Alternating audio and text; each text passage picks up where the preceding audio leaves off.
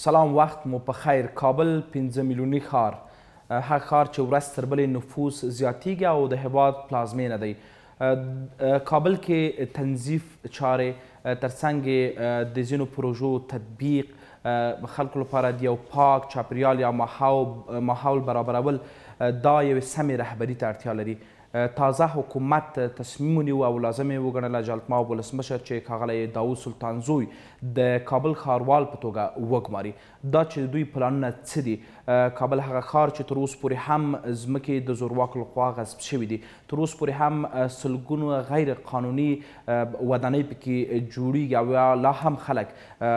قانون ته سر نه ږدي. دا چې سلطان زوی په ده برخه کې څه پلان لري، څه غوښتنې لري او آیا دوی د یو ښه کابل لپاره پلانونه لري او تطبیق لپاره یې څومره وخت ته اړتیا شته، په دې مرکه کې ورڅخه پوښتو. ښاروال صاحب ډېره مننه چې وخت مو راکړ. مننه تاسو نه او محترم لیدونکو ته خپل سلامونه وړاندې کوم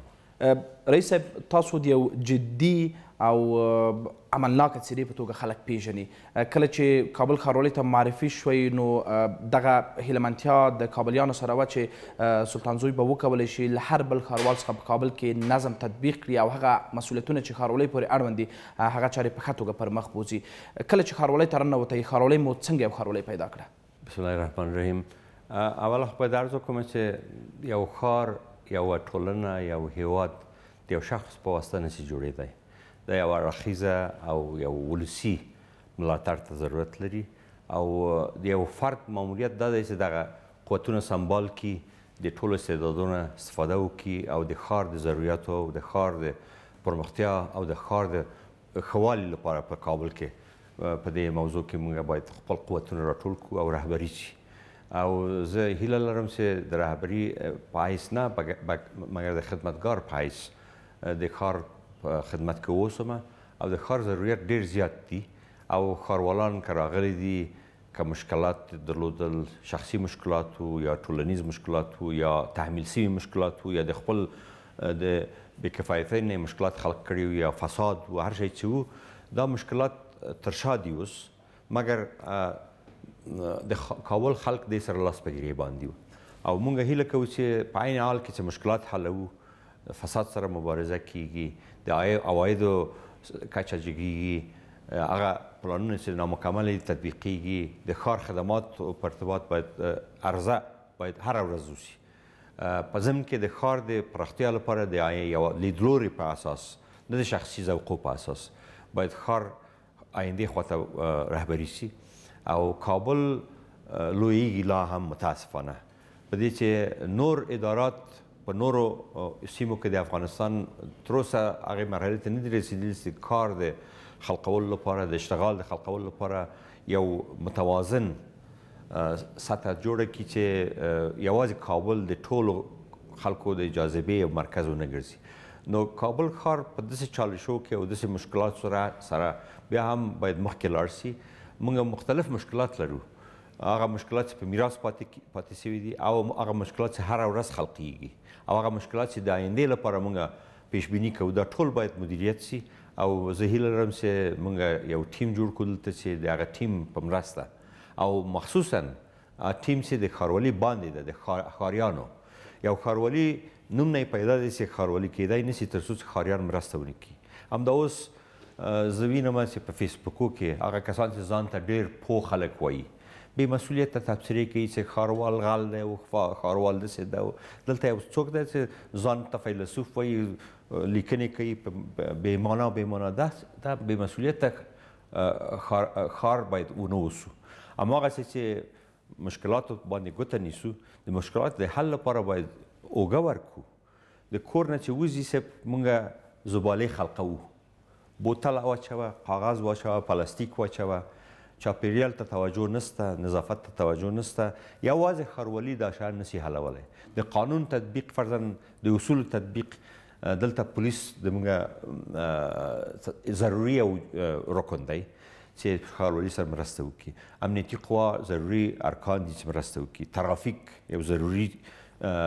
رکن دی چې ښاروالي سره مرسته وکړي او مهمتره له ټول نه بیا هم خلک. نو زه هیله لرم چې دا ټول مدیریت شي او د ټولو دغه علاقه مندي راوپاروي چې دا ښار ورو ورو د زیست نه وځي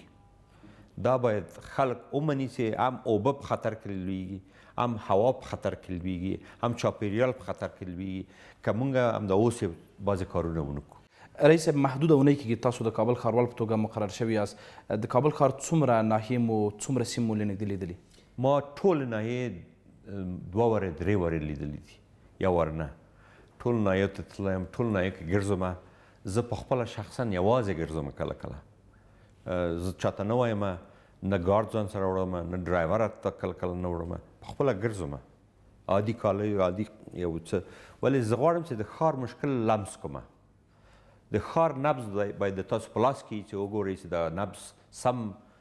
حرکت کوي یا تداوی ته ضرورت لري ښار یو ژوندی شی دی همدا خلک چې پکې ژوند کوي یو ډاینامیک حالت دی د دې د مدیریت لپاره باید د حقایق نه خبر اوسي او دغه خلک چې د تورو پردو د شان خبرې کوي دوی دې ووزي را دي سي اوګه دي راکې دا انتقادونه پریږدي دا چټیات دي پریږدي را دي سي اوګه دي ورکې خلکو ته ښاروال صاحب دا باید ومنو په هر دلیل چې دي دښمنان لرئ فکري دښمنان هغه کسان چې شخصي عقدې پرته له کوم موضوع نه تاسو لري په ټولنیزو رسنیو کې مو هم بېلګې ولیدلې دغه توان قدرت ځان کې وینئ چې د قانون په چوکاټ کې په کابل کې له غاصبینو سره هغه کسان چې قانون تر پښو لاندې کوي دوی سره مبارزه وکړئ زه یو فرمول باید خلک ځان سره وساتي دا وړاندیز خلکو ته کوم چې کابل کې څو میلیونه کسان لرو ټول خو غاصبین نه دي ټول زورمندان نه دي د اکثریت د کابل خلک مظلوم خلک دي هر شرط ور باندې تحمیل سوی دی که ټول غاصبین او بې قانون خلک چې دغه په زوره د شرایط تحمیلي راټول کړي د دوه سوه نفر زیات زیات نه دي آیا دوه سوه نفر زور زیات لري یا د ټول د کابل ټول خلک کور نه لري خلک اقتصاد ضعیف دی هر ورځ دوړو خاورو کې ګرځي فقر بیکاری دغه حالت همسایګي کې ته کور کې ژوند کوي د تا په څنګ کې یو څوک د هر جنې چې پیدا کړي دي بې قانونه کور جوړوي کور د د هغې د نګین لاندې د هغې د تهدید لاندې دا شیان باید خلک موږ سره روغه راکړي یوازې ښاروالي یا یوه قطعه یا یو پولیس خو نشي کولی ټول شیان وکړي خلک دې غږ جګ کړي زه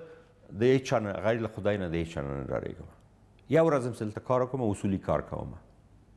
اصول معلومه دي قانون معلومه ده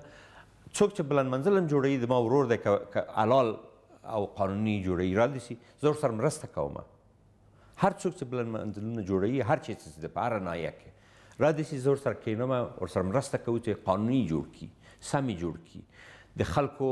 د زلزلې د اوبو د انرژي د زیست محیط د آینده د پارکینګ دا ټول شیان غم وخوړل سي مونږ ورسره مرسته کوو په ډیزاین کې حتی دا نمایم خایسته سی ښار خایسته سی تاسو باندې وګورئ دا نور هیوادونه خو د مونږ نه خو بهتره نه دي منتها هغوی منلی دی چې د یو نظم په چوکاټ کې باید ژوند وکړي مونږ ولې ونسو کړی همدغه خلک چې دلته بېنظمي کوي دوبۍ ته ځي ترکیې ته ځي پاکستان ته ځي منظم ګرځي یو زره نه ښوریږي د خط نه مګر دلته چې راځي فکر کوي چې دلته میم زرما ټول زما داسې خو کېدای نه شي دا د ټولو ښار دی ښاروال صاحب کابل ښار کې د اوس هر ناحیه کې چې وګرځېږي لسګونه داسې ودانۍ پر عمومي سړکونو ګورو چې غیر قانوني دوی جوړېږي دوی نقشه نه لري دوی جواز نه لري او پخوا به امنیتي حوزو د ناحیې سره یو ځای پیسې ترې اخیستلې اوس بیا قطعه جوړه شوه نه پوهېم چې ویل کېږي چې قطعه له منځه ځي که تللې ده او په ټوله کې اوس ودانۍ جوړېږي او پیسې اخیستل کېږي. د ځینو نواحیو ځینې انجینر صاحبان دي چې څو کاله محدوده د کار څخه وځي، ډېر محدوده معاش ولري خو نن لوړ پوړیزې ودانۍ لري، موټرې لري، یعنې دغسې فساد روان دی. مبارزه ورسره کوئ؟ زه بلکل ژمن یم، همدې لپاره محترم جمهور رئیس ما باندې دا امر وکړ چې دا مسوولیت په غاړه واخلم. یو هدف دا دی چې ښاروالي کې اصلاحات راشي. نه یوازې ښاروالي کې اصلاحات د ښاروالي لپاره بلکې د ښار لپاره تر څو ښاروالي سم نشي ښار نشي سمېدای. مدیریت د ښار مدیریت باید یو سمه اداره وکړي. هغه اداره اوله خپل بنسټونه سم کړي، خپل دننه سم کړي، قطعه له منځه نه ځي، قطعه اصلاح کېږي. مونږ پوهیږو دغه ځمکې چې غصب شوي دي دا بلند منزلونه چې جوړ شوي په یوې شپې کې نه دي شوي دا یوه پروسه ده دا یو وخت شروع شوی وه پوهیږو چې څه وخت شروع شوې ده پوهیږو چې چا شروع کړې ده او پوهیږو چې څومره مقاومتونه موجود دي مګر یو شی درته وایم وروره زه یقین درکوم چې که افغانستان کې به یو وخت داسې یو یو یو قانون حکم فرمایي چې دا یو بلند منزل به په دې شکل پاتې نسی ولې دوی بې اساسه جوړ شوي دي دوی ته شاید برق ورنکړ سی یور دا بی قانونه خلک چې جوړی دا شاید یور حکومت تصمیم نیسی چې هر چا چې بی قانونه دا جای جوړ کړی نه برق ورکوو نه تنظیف تضمینو خپل دې ټول شیان وکړي او لارې ورته بندوو بیا څنګه څه کوي د قانون په مقابل کې څوک دایمي نشي درېدلی. صحیح ده. دوه درې مورده رئیس صاحب زه کله نه چې نواندیش صاحب د کابل ښاروال ورپسې ځینې نور دوستان بیا حبیب صاحب صاحب راغی چې د پانتون استاد و متاسفانه په غم ځینې اتهامات ولا ورپسې سرفراز صاحب راغی خو زما چې یادېږي دوی هر یو چې راغلی خپل ټیم راوسی هر یو خپل وطنداران راوسی دي هر یو خپل ملګري دوستان راوسی دي او حتی د نواهیو په سطح په بل ځای کې اوس دغه فکرونه موجود دي، ایا تاسو چې تازه راغلي یاست ښاروالۍ ته، تاسو به هڅه وکړئ چې د پخوانیو ښاروالانو په وخت کې کوم کریسان د ناحیې دي، که کارکوونکي دي او کار یې سم دی، پاک خلک دي، هغوی پرېږدئ یا نه الف نه تر یا پورې غواړئ چې پاککاري وکړئ او بل ټیم راولئ؟ زه یو فورمول لرم په ځوان کې، زه د دې وطن وګړی یم، نه قوم لرم، نه سمت لرم، نه په مذهب پسې ګرځم، نه په ژبې پسې. مسلمان یم، افغان یم، د دې خاورې یم، دا ټول خلک مختلف اقوام د ما سره موجود دي او هر څوک چې په کشاروالي کې دي هر جي چې دي د هر څوک خیخ هم چې ده د هر شاروال هم سره واسطه که پاک کار وکړي د مونږ بازو دی د مونږ مټی دی د ما ورور هم چې که پاک کارونه کې پاکومه مطمئنه زور مو پر رسیږي دلته ځینې رئیسان د ښاروالۍ دننه ډیر قوي ادرسو څخه مر شوي حتی ځینې انجینران د ښاروال نه به په ښاروالي کې څوک قوي نشته نور د قانون نه د اصول نه څوک قوي نشته ښاروال هم نشي کولای چې د قانون او د اصول په مقابل کې زورګویي وکړي مفسد کسان تر اوسه پیژندلې دي مفسد کسان په خپل ځان پیژني دسه دسه مونږه ک سیستم په اساس مخکې لاړ شو د برنامې او د پروګرام په اساس مخکې لاړ شو. څوک چې کار کوي هماغه ټارګټونه او هماغه اهدافو ته ژمن لري ژمنه لري او هغه اهداف تر سره کوي هغه خپله خپله واسطه ده. څوک چې هغه اهداف ته نشي کولای ژمنه ولري او اهداف ترلاسه نه کړي او د موږ اصول مراعات نه کړي او د فساد په مقابل کې موږ سره مرسته ونه کړي نه یوازې خپله دی باید ککړ نه وي بلکې مرسته وکړي چې نور هم پاک کړو هغوی بیا موږ سره نه دي نور. ښاروال صاحب دا منئ چې د نواحیو ځینې رئیس صاحبان هر چت پر سر چې یوه ودانۍ جوړېږي پنځه زره لس زره ډالر نه تر پنځوس زره ډالر اخلي او دا پیسې تقسیمېږي داسې موارد تاسو سره رسېدلي؟ ما اورېدلي دي او مستند سازي باندې بوخت یاست اوس ما سره امنیتي ادارات مرسته کوي، استخبارات مرسته کوي، او حکومت مونږ سره مرسته کوي په عمومي توګه د جمهور رئیس نه نیولای ته شورای امنیت ملي ادارې امور ټول هغه ارګانونه چې کولای شي مونږ سره مرسته وکړي یو موټی یاستو او زه د هغوی د ټیم غړی یم او د افغانستان بچی یم د هیواد لپاره کار کوو ښار د هیواد یوه برخه ده دا جای باید جوړ سي. مخکیني ښاروالان په هر اساس چې راغلي وو تاسو هیڅ سمت او هیڅ پورې تړاو نه درلود دلته کله چې راغلي او فقط ستاسو جدیت چې ولسمشر په دې باندې قانع شو تاسو باید دلته راشئ او هدف یې حتما همدغه وي چې اصلاحات راولئ دغه اوس پخوا به پرېږدي اوس په کابل ښار کې له دې وروسته امکان لري چې څوک غیر قانوني لوړ پوړیزه ودانۍ د پیسو د ورکړې په بدل کې جوړه کړي. زه چې تر څو دلته اوسم او که زه پیدا کوم چې یو څوک یو چا پیسې ورکړې دي چې یو شی جوړ کړي او ما ته که اول راکړي خو اجراات کوو که څوک اول هم رانه کړي بالاخره کشفیږي هغه یا تعمیر خو داسې نه ده چې اسمان نه کښته سي او سبا یې څوک ونه ویني پوښتنه کیږي چې دا تعمیر څنګه جوړ سو هر رئیس هر اداره که ښاروالي که باندې پکې لاس ولري موږ قانون تطبیقوو ورباندې.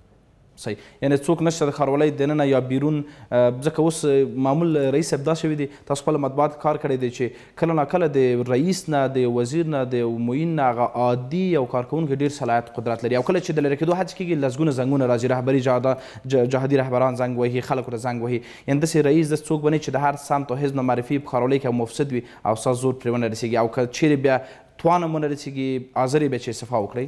داسې ده چې زه استعفا نه کوم، زه کار کوم. تر څو چې توان لرم کار کوم، زه د استعفا سړی نه یم. تر څو چې دلته یم کار کوم. ډاډ مو ده چې دا کسان لرې کوئ مفتي صاحب؟ زه بل شی چې ووایم، جهادي رهبران هم زما دوستان دي، اکثره یې پېژنم. نور کسان هم پېژنم، که قوماندانان دي، که برحاله دي، که بېحاله دي، هر شی چې دي ټول پېژنم. هغوی هم د دې وطن دښمنان باید ونه ګڼل شي. هغوی هم غواړي چې د هغوی اولادونه، د هغوی آینده نسلونه په یو ښه ځای کې ژوند وکړي. نو د هغوی نه مرسته غواړو چې د شفافیت او د کار د کېدو لپاره موږ سره موټی راکړي چې دا ښار ښایسته کړو. د ښار بې حیثیتي د ټولو بې حیثیتي ده. د ښار چټلي د ټولو چټلي ښکاره کوي، د کار بې نظمي د ټولو بې نظمي ښکاره کوي، دا کانکريتي ديوالونه موږ نسي حمايه کولای د دې بدنامي نه، دا ديوالونه چې جوړوو، دا پاتکونه چې جوړوو دا د بدنامي نه موږ نه نه بچوي، ټول کسان چې د کانکريت تر شا ناست دي په بدنامي کې شامليږي، که د کانکريت دې خوا ته ګرځي په خاورو کې او دوړو کې ټول د دې ښار استوګني استوګنه لرو او د دې ښار په ښه کې او بد کې شریک یسو نو زه یقینا لرم چې په اصلاحاتو کې ټول ما سره مرسته کوي که یې ونه کړل اصلاحات مخکې ځي بیرته راګرځو موږ سره پاتې شئ رئیس صاحب تاسو دقیقا په داسې یو اساس واخې راغلی چې یو خو د حکومت لومړنۍ شپې ورځې دي او وې او بل دا چې د قرنطین موضوع د کرونا د ویروس د خپرېدو اندېښنې وې د ډوډۍ ویش موضوع تر اوس پورې هم په ټولنیزو رسنیو کې پر بحث کېږي چې په کې فساد شوی دی په هر طریق ته شوی وي تاسو مخکې ډېرې ښې موضوع ته اشاره وکړه چې یو فرد یو رئیس نشي کولی چې شفافیت راولي تر څو پرې ولس خلک او ټیم ورسره همکارونه اوسي د ډوډۍ ویش په اړه څه نظر لرئ دغه تطبیق چې تر ننه پورې یا تر څو ورځې مخکې تطبیق شو آیا دا شفاف و فساد پکې شوی که نه معلومات لرئ اوله خو زه باید کابل د ټولو هغه کسانو چې موږ سره یې مرسته وکړل په شمول د ښه رسانیو چې مثبت شیان ته یې انعکاس ورکړ ټول نه مننه کوم دا یوه لویه پروسه وه په بین ملي سطح د سیمې په سطح څه یو پروسه نسی نه وسوي پلی سوی نه مخکې د افغانستان په عمومي په ملي سطح هم د یو پروسه نه پلی زه ویاړ لرم چې کابل کې مونږه دغه مسولیت په غاړه درلودله مونږه څو کارونه وکړل نه یوازې مو ډوډۍ وویشله مونږ ساختارونه جوړ کړل ټولنیز ساختارونه چې خلک په دې کې برخه واخلي اوله مونږ د علماو شورا نه مننه کوو د کابل د ګذر شوراګان فعالیت وکړ دلته پکې ښه او بد وو مګر خلکو ښه کار وکړ یو تعداد محدود خلک چې خرابي وکړه هر ځای کې اشتباهات کیږي هغه اصلاح کیږي یو تعداد برطرف سول دوهم درېيم ځوانانو شورا وه د ښځو شورا وه حتی د مستحقینو شورا مونږه جوړه کړل د متنفذینو شورا وه د مدني ټولنې غړي ول چې په ټول خبازیانو کې اته دوی برخه درلوده ځینې ښه کار وکړ ځینې یې ونه کړ دا پروسه یو مخلوطه وه د ښه او د بدو مګر زه فکر کوم چې یو سل پنځلس میلیونه ډوډۍ چې ویشل کېږي په محدود زمان کې په هغې کې یو څو ډوډۍ څڅېږي، یو څو ډوډۍ خراب پخېږي، یو څه اوړه به خراب وي، مګر ټول موږ کشف کړل، ټول مو اصلاح کړل، هره ورځ خرابي کېدله، سبا باندې یې موږ کوشش کاوه چې بهتره شي، دا پروسه دغسې یو مسیر پیمایلی ده، د دې ځای نه شروع شوله، د یو ټیټ نقطې نه شروع شوله او په جګه نقطه په سل فیصده تولید کې موږ ختم کړله چې په پنځم یا شپږمه ورځ کې موږ سل فیصدو ته ورسېدو، په دې کې نواحیو اشتراک وکړ، زموږ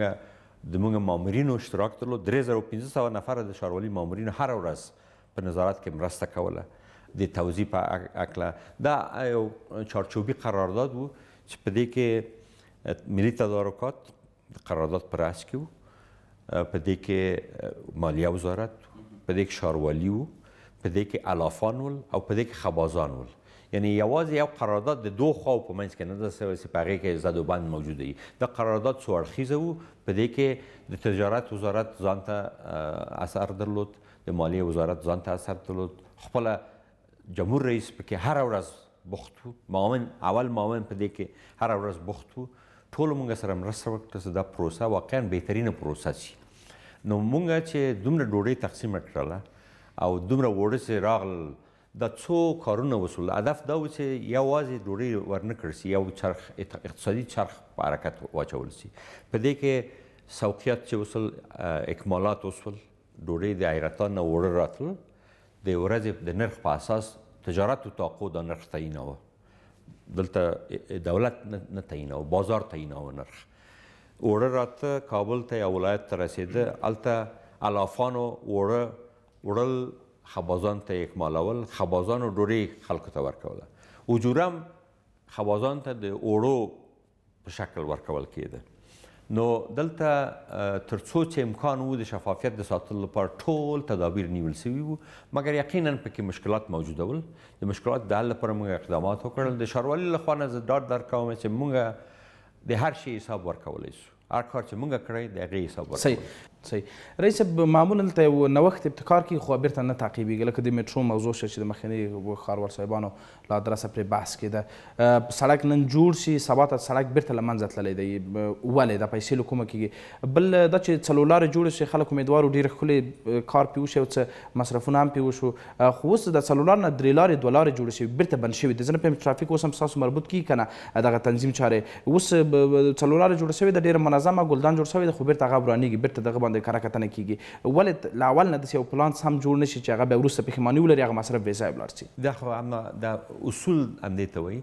هر ښاروال که راشي د خپل د ذوق په اندازه ښار ته دې خوا ته ویسه او ښار دې خوا ته ویسه او ګردي جوړ کړه او بیا مثلث جوړ کړه دا خو بې منطقه یو کار دی. ښاروال حق نه لري چې د شخصي سلیقو په اساس ښار مخکې یوسي. دلته اصول موجود دي، یو علم دی آرکیتکچر او او د ښار پلان او پلانینګ او پلانګذاري دا یو علم دی. د علمي اساساتو په چوکاټ کې باید د ښار عیني واقعیتونه او د ښار راتلونکی په نظر کې ونیول شي. همدا اوس فرضاً کوم څوک راغلی و لکه چې خوښ شوی و لندن یې لیدلی و یا ډیلی یې لیدلی و دا ګردیان یې چې جوړ کړي دي په هر چی کې ګردی جوړ که بې تناسبه د ترافیک جریان په نظر کې مه نیسه د ترافیک حجم په نظر کې مه نیسه د سرک پلنوالی په نظر کې مه نیسه راځه ګردی جوړ که منطق یې چیرته دی؟ عیني واقعیتونه په نظر کې باید ونیول سي، د ښار پلاننګ واقعیتونه او د راتلونکي لپاره چیرته ځو، دا دوه شیه باید تلفیق پیدا کړي. موږ نفوس انکشاف ته باید توجه وکړو، د ښار زیرمې باندې باید توجه وکړو، موږ څه شی لرو دې ته د څومره نفوس لپاره موږ زیرمې لرو، طبیعي زیرمې مثلا اوبه څومره لرو، انرژي څنګه کوو دومره بلندونه چې جوړوو دې ته څنګه برق ورکوو که جنریټر یې ږدو خو ټوله فضا مو ککړه کړله دلته ځمئ څوک تنفس نشي کولی وروره ته پیسې لرې غواړي چې دا پیسې دې په کار واچوي دوه میلیون ډالر انویسټ کوي غواړي چې شل میلیون ډالرونه جوړ کړي مګر ته حق نه لرې چې د پنځوس پنځه شپږ میلیونو انسانانو حیات په نظر کې ونیسي زلزله په نظر کې ونیسي د اپارتمنټ خلکو باندې خرڅوي یوازې خو په چټاندازه نه کېږي چې سیخ شه ډبل کو سمت شه زیاد پرتو دلته محاسبه باید وسي چې یو بلډینګ څومره تعداب د عمق د تعداب څومره د ځمکې خاصیت چې جیولوژي راپورونه باید ونیول شي اوبه څومره لرو دی ته انرژي څومره لرو دی ته ترافیک څنګه کیږي پارکینګ څنګه کیږي دغه زبالې چې تولیدیږي څنګه کیږي د دې خلکو تګ او راتګ د دې خلکو خریداری څنګه کیږي چیرته خریداری کوي د شاپینګ سنټرونه یې چیرته دي مکتبونه یې چیرته دي کتابخانه یې چیرته دا یو منظم پلان غواړي یو دید غواړي او کوم سټایل غواړي چې کابل ولري مثلا دا نما د کابل نما څنګه باید دي اوس شیرپور ته ګوره ته خدای چې سړی چې ځي د سړي زړه بدیږي څومره پیسې پکې مصرف شوي دي مګر نما ته یې ګوره دا سترګې ته د ښار دی بلکل همدغسې ځینې نور بلډنګونه چې جوړېږي په پاڅ کوڅې کې بې تناسبه یوه کوڅه دومره کوڅه ده اته متره یې عرض دی هلته پنځه ویشت منزله یو تعمیر جوړ سوی دی دغه ترافیک چې په دې کوڅې کې د پنځه ویشت منزله ته راځي دا ترافیک څنګه راځي دلته دا موټرونه مالدا هلته خو د ښار په منځ کې هغه سړی چې د اپارتمان کې ژوند کوي حد اقل یو موټر هم لري نه درې سوه اپارتمانه دي درې سوه موټره په دې کوڅې کې څنګه راوړې ته اطفایه څنګه راسي که دلته بیروبار وسي که یو حریق وسي سیستم د اطفایې په خپل تعمیر کې ته سم نه جوړوي اوس رئیس صاحب دغه موضوع ده اوس عام ولس سوداګر خو نفس ده دغه نه ده قانون خو باید ښاروالۍ پرې تطبیق پرې نه ږدي دا شیان اوس سوي دي نه مونږ چې اوس یعنې دا منې چې په تېر دورو کې فساد شوی دی واستوازیانې شوي دي مونږ غواړو چې اصلاحات راسي دغه شیان مونږ یو ریاست دلته سته په نامه د بهسازي د بهسازي وظیفه دا ده چې هغه شیان چې بې قانونه جوړ شوي دي دا ورو ورو موږ راولو نورم ته یې برابر کړو او په ضمن کې نور ریاستونه دي چې د آینده لپاره کارونه پلانونه مخکې وړي چې ډیزاین د آینده ښار یو کوریډور څه ډیزاین ولري مثلا اوس موږ ځمکې د خلکو اخیستې دي په برچي خواته عرفاني سرک چې جوړیږي دلته دا خلک درسته ده چې اسکان ته ضرورت لري، درسته ده چې کور ته ضرورت لري، مګر تاسو که لاړ شئ هر ځای کې کورونه په زوره جوړ کړئ، بیا پرته هلته که پلان ځي، هم پلان غواړئ، هم غواړئ چې ښار مو ښه شي، هم غواړئ چې کور ولرئ، هم غواړئ چې سرک رانه شي، دا خو کېدای نشي. راځئ چې یو یو توافق وکړو چې ښار چې جوړېږي، که تاسو هغه ځایونه جوړ کړي دي وخته نه، کور ته ضرورت لرئ حق مو دی مګر که غواړي چې اصلاحات راوړو راځئ چې یو همکاري وکړو تاسو ته مسکن هم پکې جوړوو تاسو ته سیستم جوړوو چې هلته بلند منزلونه که جوړیږي یو څو دنې که یو څو دنې اپارتمانونه جوړیږي هغه خلکو چې کور له لاسه ورکوي هغوی ته کور باید هلته میسر سي دلته باید یو توازن په چوکاټ کې باید مدیریت مخکې لاړ سي خلک هم یو تفاهم باید ولري خلک هم باید درک ولري چه هغه جایونه چه مونږ بی قانونه جوړ کړی دی اوس که قانونمند کیږی ورسره مرسته وکړو د تاسو د اولاد لپاره ښه ده د تاسو د ځمکې ارزښت ارزښت پورته کیږی د تاسو ژوند هغه کیفیت بهتره کیږی خدای ناخواسته ته فکر وکړه په یو کوڅې کې چه حریق وسی اول ته یو بلند منزل موجود ای او اطفایه ونیسی اطلاعیه هلته لاړ سی ته سلهاو نفره خپل حیات له لاسه ورکوی همدا منډی کې څو وری دا خبری وسل فضل خدای داسې وخت تو کوی چه خلک کم ول مګر وایرنګ په سټنډرد نه دی، نلدونی په سټنډرد نه دی، تعمیر په سټنډرد نه دی، مونږ یو عجیب و غلیب خودرویه خلک یاستو، هم غواړو چې هر شی حکومت مونږ ته وکړي، هم نه غواړو چې همکاري وکړو. صحیح. څو مهمه ریاستونه چې ستاسو پورې اړوند دي، ریاست د عوایدو لرئ، ریاست طرحو تطبیق لرئ، ریاست د جواز دی ورکړی دونه مو برداشت څه دی څنګه وم لیدل نږدې نو دلته د فساد موضوعات ډیر زیات مطرح او ډیر مهمه کلیدی دغه موضوعات چې تاسو یاد کړی که دوی خپل کارونه سم وکړی کیدای شي ډیر اصلاحات راشي په دو اړه نظر مو څه دی؟ دما عمومي نظر د ښاروالي په امورو کې دا دی چې افغانستان او ښاروالي یو بل نه بیل نه دي د افغانستان هغه شرایط چې په نورو اداراتو کې موجود دي په شاروالي کې موجود دي شاید بدتره چون عایداتي او منبع لري شاروالي چون د ځمکې په لاس کې وي چون ښار په لاس کې وو ممدار دلته د فساد لپاره مشوقه هغه قوتونه د یو بېنظمي په حالت کې زیاتیږي نو په هغه اساس کې زه باید عرض وکړم چې ښاروالي د نورو ارګانونو نه بېل یو ځای نه دی چې دلته یوه جزیره دی، فساد یوازې دلته وي. فساد یوه کړۍ ده، دا فساد د کړۍ په ټولنې کې هم شته، په کوڅې کې هم شته، په ادارو کې هم شته، مګر دا کړۍ باید ماته شي، هره اداره باید خپله دنده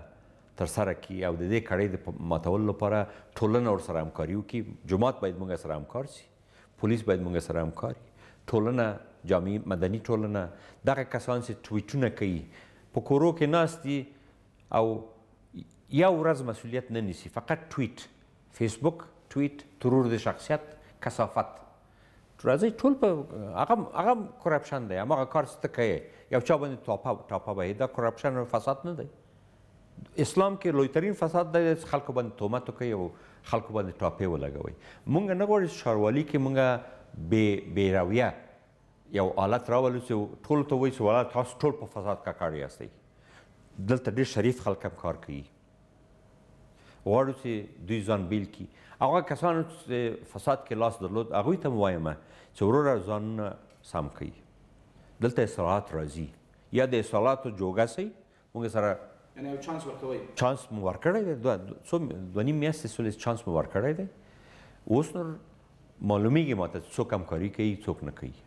چانس مالبر چانس مو ورکړی صحیح برای صاحب په سیستماتیک ډول باندې ستاسو تخریب هڅې روانې دي چترۍ ډېره عادي موضوع وه، یادوم یې ځکه دا حق لري هر څوک، یو څوک چې د یو هېواد د پلازمېنې یا د پایتخت ښاروال ووسي، دا که په خپل طبیعت یا بل طبیعت دلته کومه خاصه موضوع نه وه، اما دا یو سیستماتیک تخریب و، د دې ترڅنګ ځینې نورې هڅې، ځینې نور تورونه تاسو مخکې یادونه وکړه، اوس داسې یو ځای ته تاسو راغلي یاست چې د کورنیو چارو وزارت نه هم دا خلکو سره ډېر زیات مواجه یې، هلته که توبک سلا دلته هم ځمکې دي، بلندمنزلې دي او ډېرې مافیې کړۍ په همدغو موضوعاتو کې زموږ ښکېل دي، ډېره په لوړه سطح باندې مخکې مې یادونه وکړه یعنې امکان لري ډېرو قوي کسانو سره تاسو مخامخ شئ یعنې تقریب هڅې مو کړئ مصلحت به وکړئ که مبارزه نه زه داسې ده چې زه مصلحت کولای نه شم په دې شیانو کې د ما ټول ورونه دي که ښه خلک هم دي افغانان دي که بد خلک هم دي او افغانان دي هغه ښه افغانان باید تعداد زیات دی ډېر په ټولنه کې اکثرا خاموشه ناست دي چې نه کوي دا ښار د ټولو دی د یو څو نفرو پیسه دارانو نه دی دا ښار، موږ د هغوی پیسو او سرمایو ته هرکلی وایو چې را دې سي، په سمه توګه یې ورته په کار واچوو. د شپې دې نه جوړوي، د ورځ دې جوړ کړي، قانوني دې جوړ کړي، کار دې وکړي موږ سره، فساد کې دې نه ښکېلېږي، راځئ د چاروالي جایدادونه ورته اجاره ورکوو، په کرایه ورکوو، په ښه حالت کې. په غلا ولې کار کوي؟ موږ ولې خوشحاله یاست چې په غلا هر شی وکړو؟ نه پوهېږم، رواني مشکل لرو. دغه سرک روان دی بهترین سرک جوړیږي یو وار د سرک په غاړه کې یو سړی عوض نیسي او پنځه متره پرېږدي راځي د سرک په ځای کې د خپل دیوال جوړوي دومره که ایجا یم چې اخلو خوشحالېږو په زړه کې نه پوهېږم دا څه مرض دی او دا چې ما سره خلک کوم مشکل لري زه نه پوهېږم ولې زه همدغه مې تیپ دی کار کوم د چا نه نه ډارېږم غیر له خدای نه یو ورځ هم چې دلته اوسم خپل کار کوم که سل ورځې هم اوسم که لس کاله هم اوسم هغه مسؤلیت زه لرم مخکې وړم تر څو چې یم کار کوم که نه وم بل څوک به یې کوي زه غواړم چې داسې یو ښاروالي جوړه شي چې د کابل ټول ښاریان ورباندې ویاړ وکړي د کابل ښار بهتره یو ښار یی څه مونږ دلته وګرځو دمونږ بچیان څه په سرکو کې وګرځي دا کانکریټي بدرنګه بلاکونه دی ونه نه ویني دغه بې نظمي دی نه ویني دا ترافیک تاسو مخکې یاد کړ ترافیک دمونږ مونږ پورې مربوطه نه ده ټول مصارف د ترافیک مونږ ورکوو زیربنا د ترافیک مونږ جوړوو د ایزګاه نه نیولې تر اشارو پورې تر سرک خط اندازیو پورې تر پیادرو پورې ټول مونږ هم مراقبت کوو هم حفظ حفظیږي دمونږ په واسطه هم جوړیږي دمونږ په واسطه مګر دلته بو قلمون یو شی دی چې ترافیک یو حالت دی پولیس حوزې بل حالت دی مونږ که یو شی کوو مونږ خو توپک او څوټه نه لرو مونږ قانون لرو مقررات لرو هغه تطبیقوو مګر حوزه مونږ سره باید د نظم د ساتلو لپاره همکاري وکړي مثلا دغه د سفروشان چې مونږ راټولوو مونږ نه غواړو چې دوی د کار نه کوي مګر غواړو چې په نظم کې یو راټول سي یو جای د ترافیک اختلال دی نه جوړوي سرکونه دی نه اشغالوي نه پریږدو مګر دلته هم مافیا ده یو نفر راغلی دلته کلانکاری کوي ما باندې چې ما آمدیم اینجا اکسب برای ما باید راپور بتین از شورای فلانیستیم ورسته خبریږم چې زر دانې کراچیانې لري دی ما باندې ځان ځان پړسي ما باندې ځان ما پړسا وروره پیژن دلته موږ کار کوو خار غواړو چې نظم پیدا کړي چې تا بچی هم په دې خار کې آرام وګرځي د دوی بچی هم بل دا خار د ټولو دی دا یوازې د یو څو نفرو نه دی او د ټول نه هیله کوو چې دغه احساس پیدا کړي چې د خار کې ټول ځان ژوند وکړو د خار کې که ټول ځوند کو هیڅ د توپک ضرورت به نه که دې ښار کې ټول یو ځای ژوند وکړو د کانکریټي دیوالو به ضرورت نه وي عوض به ګلونه وي هلته اوس همدا پیاده روونه چې دوی نیولي ولې دا کانکریټونه خپل کورو منځ ته نه وړي پیاده رو یې نیولی دی غصب دی دا دا هم غصب دی پیاده رو یې نیولی خپل کور منځ کې اورېدلی او پاشي کوي چمن ګل وروره خو د خلکو پیدره دی نیولې ده دومره کې سرک د کرزی صاحب نه نیولې تر سفارتو پورې تر نورو پورې ټولو دا کار کړی تاسو غبرګون ښیې دغه مو که په واک کې دی چې کورنیو چارو وزارت سره په همکارۍ کې یو ځل مخکې هم ښاروالۍ ویلې چې موږ دا لرې کوو فقط د مخابراتو وزارت مخې نه لرې شولې تیږې نورو پروسه په ټپه ودرېده موږ تېره هفته امنیت شورا سره مجلس درلود همدا نن همدا اوس زه راغلم وځنډېدم مجلس مو درلود چې د دې لپاره یو چاره جوړه شي شاروالي ځان ته پیشنهادات لري شاروالي ځان ته طرحه لري مګر د دې تطبیق یوازې د شاروالي په لاس کې نه دی اواز یوازې یو کار کولای شو ټولنه خواهش وکړو یو سړی یو وخت یو چیرته کوم کاره اوس دا سرک ټول بند دی د هغې لپاره اوس هیڅ کار هم دی مګر هم سرک بند دی یو سړی یو چیرته یو کاره وو اوس دا دا دا گیټونه چې جوړ کړی نه دا دروازې آی دا شاید دا څه معنا لري وروره وو ک ک ک ځوان کې دلته ولې ډاریږي د خلکو نه که چې دې نه دي کړی مې ډاریږي کنه که د کابل نه نه یې خپل ولایت ته لاړ سه دلته ټول وایي چې شاو جمعه سبرې وطن زو وطن ته زو وه وروره ده کابل دی وطن نه یی همدلته ژوند کیی معاش همدلته اخلی بزنس همدلته کیی موټرو کی لوکس لوکس همدلته ګرځی لاری ته بنده یی بیا جمعی په شپه وایی ځم وطن ته یا میرم وطن امی شهر تان است برادر وه بیا راځی سم دغه ښار سم کو. څه باندې دوه نیم میاشتې کیږی دغه مسولیت مو پر غاړه اخیستی دی هغه څه چې د لاسته راوړنې په توګه یادولی شی او ډیر درته مهم وو چې باید ترسره یې کړی هغه څه دي؟ اولین شی دلته ماته د خلکو آرامي ده اولين شی او په روزې کې دغه آرامي د د ورانېدو په حال کې وو قرنطين وګه او فقر دلته تصمیم ونیول سو جمهور رئیس تصمیم ونیو چې یو تجویز باید ونیول سي یو کار باید وسي او زه ویاړم چې په دې کې موږ برخه درلودله چې موږ پرینښود چې دغه حالت د کنټرول نه ووځي، لوږه بیخي بې حده شي، یوه ډوډۍ دومره زیات شی نه دی، د خدای روزي ده، یوه وسیله غواړي چې خلکو ته ورسیږي او زه خوشحاله یم چې ښاروالي یوه وسیله وګرځیدله. صحیح. نور هغه پلانونه چې ډیر زیات درته مهمه دي، مخکې مې هم وپوښتله او تاسو ډیر ځورئ، کله چې ښاروالۍ ته راغلئ لومړی ځل د دفتر ته او په ناحیو باندې وګرځیدلئ، هغه څه وله؟ زه دلته تاسو که توجه کړئ په دې میزو باندې نقشې پراته دي کاغذونه پراته دي دلته خو یوازې د موږ وظیفه دا نه ده چې کوڅې پاک کړو هره ورځ خلک چټلوي او موږ یې پاکوو هره ورځ دا کار کوي د قرنطین په وخت کې همدغه نارنجي پوشان چې دي بیچارهګان غږ یې څوک نه اوري نه څوک یې تمجیدوي نه د دوی نوم څوک اخلي د هره ورځ دوی نه قرنطین درلود او نه رخصتی درلوده هر ورځ تر څو چې دوی وسه کېږي پاکي پاکاري کوي تنظیف مو کار کوي سرسبزي مو کار کوي نور ادارات که ښه دي که بد دي خپل کارونه باید مخکې ویسي په عین حال کې مونږ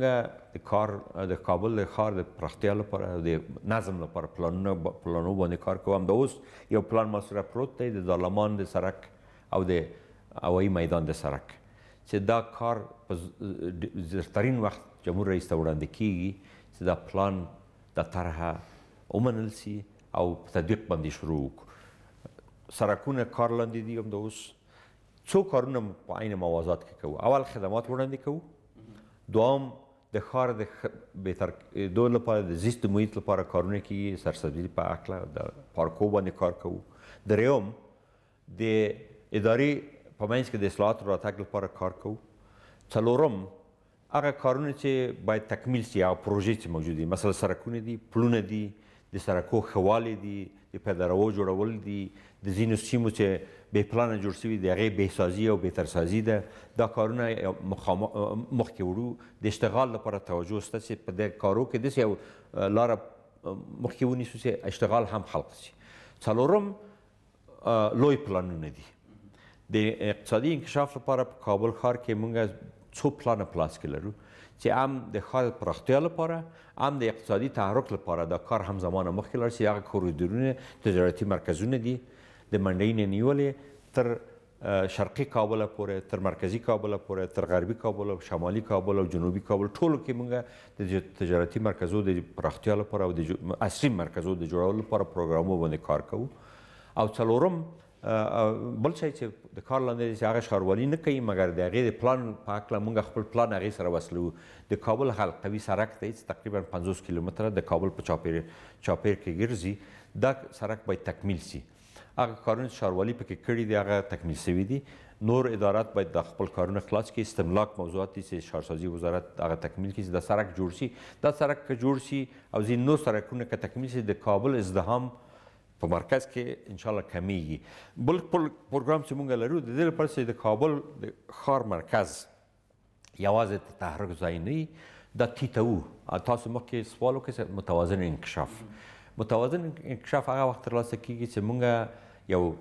اساسي اقتصادي لیدلوری ولرو اقتصادي لیدلوری په دې اساس چې د مرک... نفوس مرکزونه تشخیص شي باید د مر... نفوس د مرکزو لپاره باید مونږ د تحرک مرکز جوړ کو په هرې سیمې کې مثلا په شرقي خوا کې اتمه، دولسمه یا شپاړسمه ناحیه ده یا فرضاً یوویشتمه ناحیه، دوه ویشتمه ناحیه ده، دا سیمه ښه د انکشاف امکانات پکې شته. دې لپاره پروګرام باید تکمیل شي او ان شاء الله د تکمیلېدو په حال کې دی. موږ ځینې نور مراکز لرو چې په ذهن کې لرو چې هغه باید پلان یې جوړ شي او تکمیل شي چې هرې خوا کې کابل په سمت مختلفو سمتو کې دا استملاک ته ضرورت لري. د استملاک لپاره مونږ باید د کور بدیل جوړ کړو مونږ څو بلاکونو باندې کار شروع کړی دی چې تقریبا 200 300 فامیلو ته مونږ بلاکونه جوړو چې د کورونه یې له لاسه ځي موقتي کور ورته ورکړ سي ترڅو چې په هغه پلان کې ورته بدیل برته آماده کیږي چې یعنی دوی بې کوره پاتې نشي دا یعنی بدیل د جایداد لپاره مقطعي او دایمي دا هم په پلان کې موجوده ده. رئیس صاحب دا د کابل سیند ډیره مهم موضوع د ارګ په څو مترۍ کې ملي دفاع وزارت دی او د ښار مرکزي نقطه ښکلې نقطه چې حتی بهرنیان کله چې راځي ډیپلوماتان دغه سرک نه تیریږي دلته څو څو ځلې موټر راغلې کثافات ټول کړ خو سبا ته بیرته هماغه حالت یو ډیر بد تعفن دی فقط همدغه ساعت د پل خشتي او د سینم پامیر او تر پل محمود خان پورې داسې یو څه اوازه وه چې دا سر پټیږي او منظم یو څه جوړیږي او تر څو دا ټول کراچۍ هټۍ دوکانونه منظم ډول دلته ویول شي بې له چې نه د سیند تاریخي ارزښت له منځه ځي یعنې داسې یو منظم پلان دې لپاره نه چې د کابل د سیند د پاکوالي لپاره هغه دایمي لپاره تطبیق شي. پاکوالی خو یوازې د سیند پاکوالی نه دی، د ټول ښار پاکوالی یو دوامداره پروسه ده، هره ورځه پروسه ده، داینامیک یو شی دی، دلته خلک ژوند کوي، هر پروګرام چې جوړوو موږ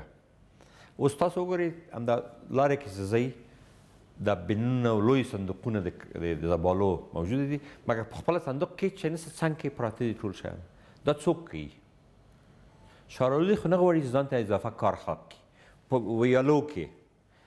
قصابي کوڅې ته لاړ سي د بختاور ټاور شپی به درست په په ویالی کی خوسی کوی اکبر خان که ځوند کوی سړی ماته تلیفون راځی دولس نیم بجی د شپی یو بل همسایه زلته بوی د خلکو خپل به درست په کوڅه کی خوسی کړ د خدای لپاره د سین لپاره هم که د سین په دواړو خواو کې څوک پراته دي انسانان پراته دي دوکانونه لري نه یا خیاطی ده یا خولۍ خرڅوي یا عینک خرڅوي یا یو بل شی خرڅوي دوکانونه تجارت کوي مګر چه کوي زباله تولیدوي څه کوي دې خوا د دې خوا ته ګوري سیند کې خو چې کوي د سیند د سر پټول خو بیخي او بې معنا شی دی طبیعت مونږ یعنې سترګې باید پټې کړو چې طبیعت نه وینو دا لوی او یو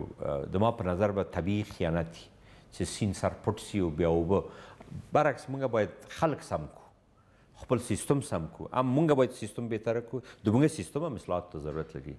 د مونږ د تنظیف سیستم ډیر اصلاحات ته ضرورت لري او بل د د زبالو نه مونږ باید انرژي تولید کو چې زباله ارزښت پیدا کی چې خلک داسې بې جایه تیت نه کی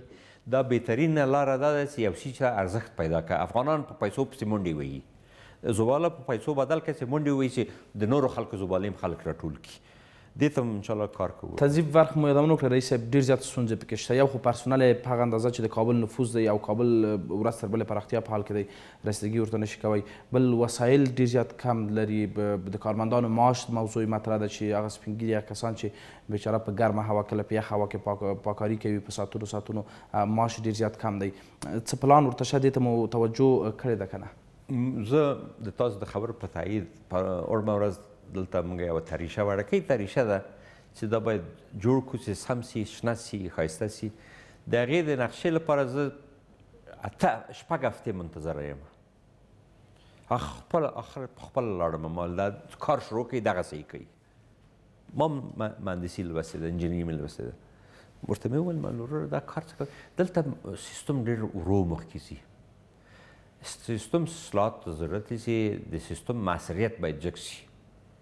په مدیریت کې یو یو یو فصل دی په نامه د افیشنسي یا معصریت معصریت په ښاروالۍ کې ډېر ټیټ دی مصریانې لرو، لیسانسونه لرو، یو شپږ ویشت کلن هلک راځي دوه لیسانسه یو ماسټري لري، نه پوهېږم چې څو شپې څومره څومره شپو کې یې دا اخیستې ده، تولید ډېر ضعیف دی، عریضه ورته وایو چې ویې لیکه عریضه لیکلی نه شي، داسې کسان هم لرو، داسې کسان لرو چې راځه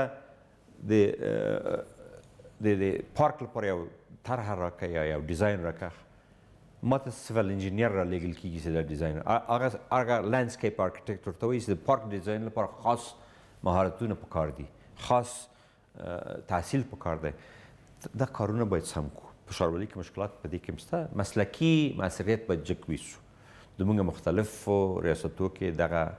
نظم باید لږ زره برته تنظیم سي خلک کوشش کوي که هیڅوک نه غواړي چې نوم یې بد سي زه یقین لرم په همدې اداراتو کې مګر دا سیستم باید لږ زره نظم پیدا کړي په دې باندې کار کوو نظم نسته ښاروال صاحب په پای کې ستاسو پیام هم اخلو او ترڅنګ غوښتنه مو له ښاریانو څخه پیام مو زورواکو ته یا نصیحت مو زورواکو ته او حداقل څو میاشتې، څو کاله یا څومره موده چې هلته اوسېږئ، چې حد اقل موږ د دې مرکې نه وروسته بیا پوه شو چې هغه څه چې تاسو کړي دي هغه واقعیت د کابل ښاریانو لپاره مؤثره وله څومره ډاډ ورکوئ؟ یو شی خلکو ته زه وایم چې موږ ټول شکر مسلمانان یو او ادعا کوو چې ښه ښه مسلمانان یو. د ښه مسلماني نښه دا ده چې د خپل محیط باندې رحم وکړو، ونې باندې رحم وکړو، طبیعت باندې هم رحم وکړو او خپل همسایه ګانو باندې هم رحم وکړو نو زورمند هیڅ زورمند د قرآن نه زیاتره زور نه لري په قرآن کې څه وایي ځوان هر شی په قرآن کې واضح دی همدا زورمند چې زور او په پټه یې جوړوي او ځي د لپاره ځان تبرئه کوي او جومات کې خیرات ورکوي خدای غلی نه خدای مه خدای غولوي نه یې غولولی سي نه قانون اخفال کوي قانون هم اخفالولی نسي څوک بالاخره قانون تطبیقیږي هر څوک چې شاروال هر څوک چې جمهور رئیس شي په دې هیواد کې بالاخره قانون راځي نو تاسو ډاډمن یئ چې انشاءالله محصره کارونه به ترسره کوي بله بله بل عرض مې خلکو ته دا دی چې دا ښار د ټولو په واسطه جوړیږي یوازې ښاروالي ښار نشي جوړولای ښاروالي سره همکاري د ښاریانو ښاروال هم ښاریان او همکاري دا ټول چې یو ځای نشي دا ښار نشي جوړیدای دا ښار د ټولو کور دی هر چې چې اوسېږي هغه جن چې وزې د بل سیمه ته چې خپل کور منځ کې قدم وهي آیا څه غواړي په دې کور کې همدا حالت غواړي یا غواړي چې بهتره ولې خلک هره ورځ دا فلمونه چې ګوري حسرت وړي د استانبول او د دوبۍ او د نورو ځایو د کابل بهترین ځای جوړیږي که همکاري موجوده وي ډېره زیاته مننه کوښاروال صاحب چې فرصت مو راکړ کور مو ودان بریالي اوسئ درنو لیدونکو اوسنۍ مرکه په همدې ځای پای ته رسوو تر بیا د خدای په امان له لیدلو مو مننه